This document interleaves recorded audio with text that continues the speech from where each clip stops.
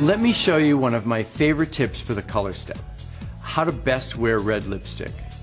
Artistry offers reds in three different formulations, so you can choose one based on how much drama you want.